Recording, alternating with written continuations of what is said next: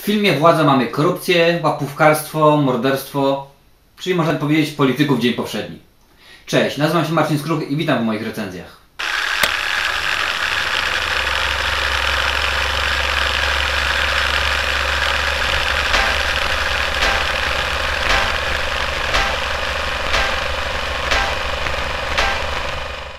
Władza to nowy thriller polityczny y, z Markiem Wahlbergiem i Russellem Crowe w rolach głównych. Fabuła filmu jest w miarę prosta. Mark Wahlberg y, na początku gra policjanta, który jest zamieszany w morderstwo. Jest zamieszany w morderstwo, y, jakkolwiek to nie nazwać. Sprawa trafia do sądu, ale zostaje umorzona. Ma swoich przyjaciół, w sensie komisarz policji i burmistrz miasta. Dziękuję mu bardzo. Sprawa zostaje umorzona, ale niestety musi odejść ze służby.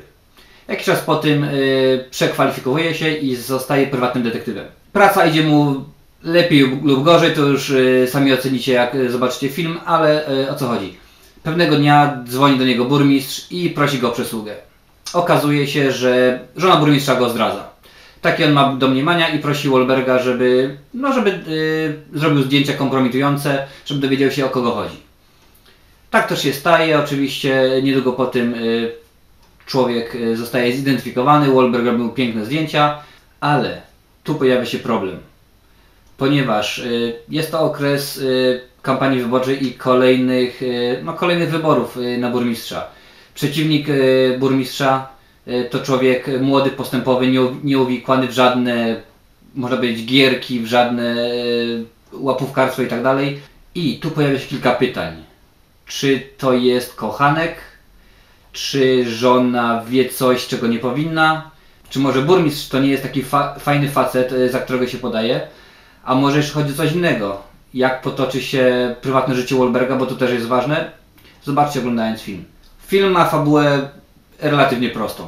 Jest to dobrze zrobiony film, to, y, to trzeba im przyznać. Dosyć fajnie zrobione kino akcji, ale tak naprawdę takich filmów już widzieliśmy setki. Naprawdę nic zaskakującego. Aczkolwiek y, bardzo fajna rola, chyba jak nie pierwszy, to jeden z niewielu przypadków, kiedy Russell Crowe wciela się y, w postać czarnego charakteru i robi to naprawdę rewelacyjnie.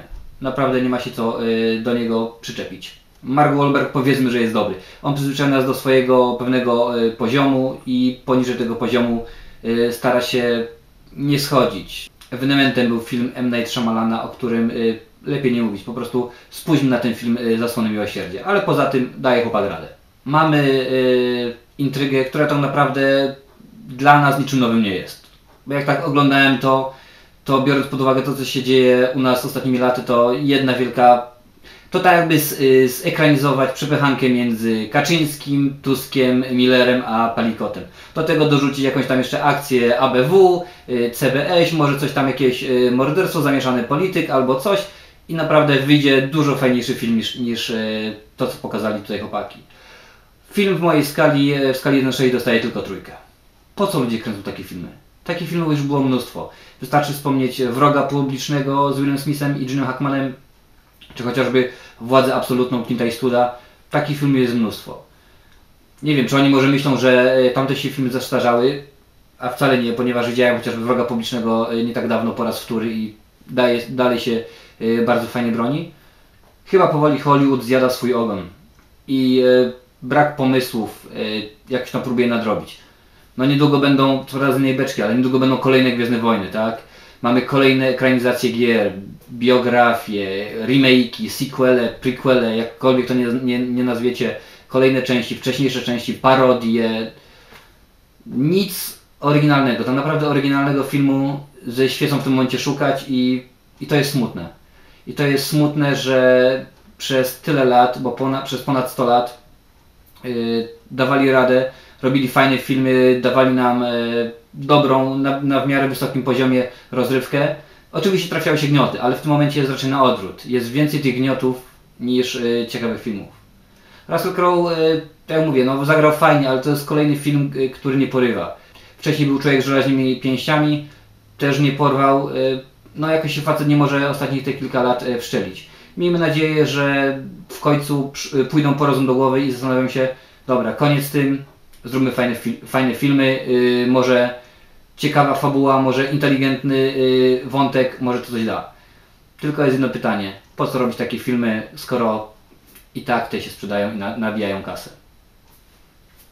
Trudno, tego nikt nie odgadnie. Y, A ja dziękuję bardzo za oglądnięcie mojej recenzji. Jak zawsze zapraszam do komentowania, subskrybowania i do zobaczenia następnym razem. Cześć! I